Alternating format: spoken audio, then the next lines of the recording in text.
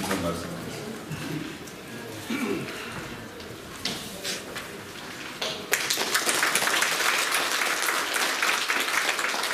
정당의 심상정입니다. 오늘 5.18 왜곡행위 처벌을 위한 법률 개정 어, 토론회 이 뜻깊은 자리를 마- 마련해 주신 5.18 역사 왜곡 대책위 그리고 오늘 행사를 주관해 주신 5.18 기념재단 또 우리 이규호 의원님, 최경환 의원님, 윤성 의원님 감사의 말씀을 드립니다. 그리고 멀리 광주에서 목포에서 어, 많은 분들이 오셨습니다.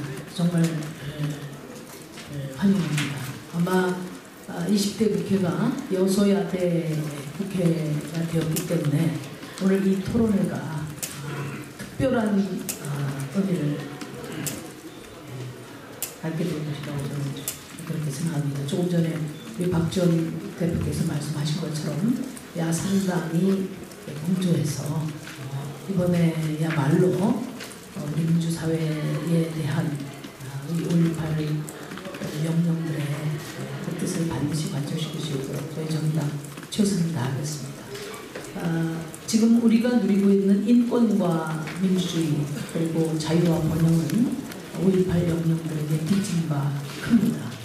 불의와 폭력에 에, 연대와 사랑으로 맞선 우리 5월 중심 우리 자랑스러운 어, 현대사입니다. 어, 일부 어, 세력들이 5.18 민주화운동을 풀어나고 무순한 것으로 어, 매도를 하고 있습니다. 어, 많은 대다수의 국민이 어, 5월 영전에 감사와 헌사로 어, 뜻을 모으고 있을 때 극히 일부의 인사들이 여론하고도 어, 하고 있는 것이라고 저는 생각합니다. 아마도 민주주의를 지지하는 사람이라면 누구나 아, 함께 분노하고 있을 겁니다.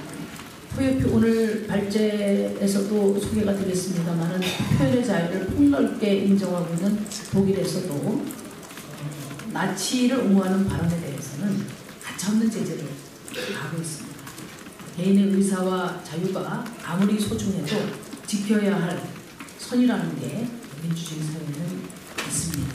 그런 점에서 어, 우리 대한민국이 5.18이 지난 지 지금 36년이 되고 있습니다만은 우리 대한민국의 방향이 민주주의 축소일 수는 없습니다. 우리가 나가야 될 방향이 인권의 축소일 수는 절대 없다.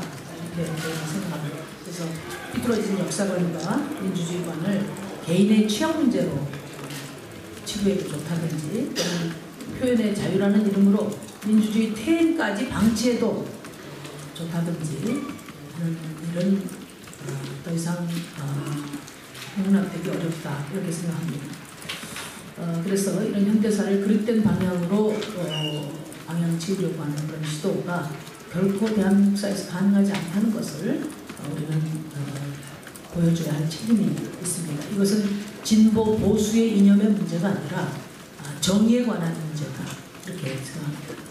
아, 저희 정의당은 어, 여섯 석의 작은 의석입니다만 이번에 후남을 대표하는 아, 정치인 아, 5월 정신을 앞장서서 우리 윤소아 국회의원이 국회에 이번 입성을 했습니다.